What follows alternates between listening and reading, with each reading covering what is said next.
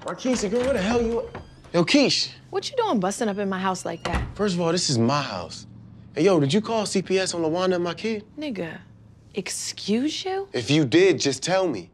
T, I'm a mother. I know what calling the authorities could do to people like us. And how dare you accuse me of some fucked up shit like that?